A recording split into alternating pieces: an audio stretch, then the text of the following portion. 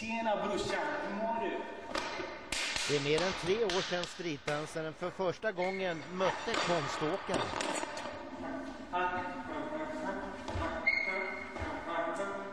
Och det har onekligen hänt en hel del sedan dess. Så här var han. Och sen efter ett år.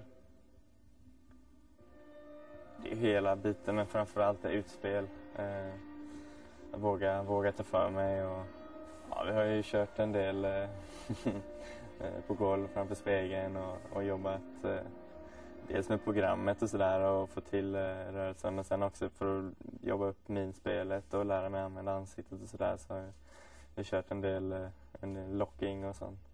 Och locking måste man överdriva. Så det är verkligen så här. checking, check och glad, swing. Små detaljer för att skapa en helhet. Och trots fysisk trötthet under programmen kommunicera med publik och domare. Helt enkelt att visa känslor.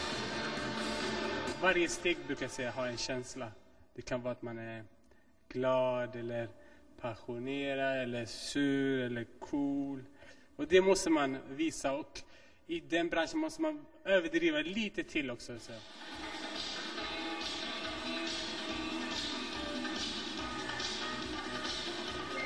Du inte tror på det så kommer inte de tro på det.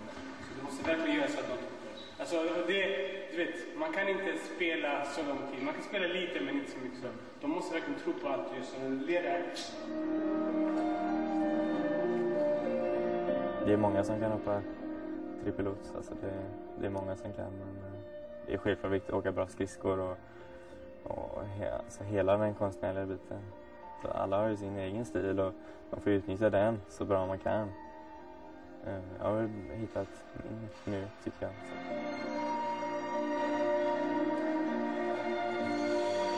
Jag är egentligen från streetdance-hållen men jag försöker anpassa mig till olika områden.